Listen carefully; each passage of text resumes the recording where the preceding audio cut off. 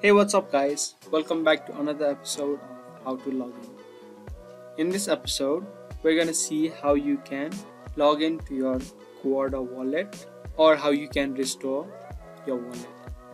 Watch this video till the end if you want to learn how and don't forget to subscribe to our channel because we upload similar videos like this so in order to not miss videos be sure that you are notified. So let's get straight into the video. Firstly, download the application on your device and then open up the application. From here you need to go to restore. Now you can either choose to restore your code using the file or you can choose to enter the text. I'm going to enter the text but you can choose the file also. I've pasted in my code. Now I'll enter in the password that you have created. After you're done you can simply click on restore and you will be successfully logged in to your Guarda wallet.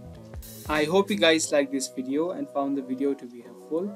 If you did, don't forget to give us a thumbs up and we will be soon back with similar videos like this. Thank you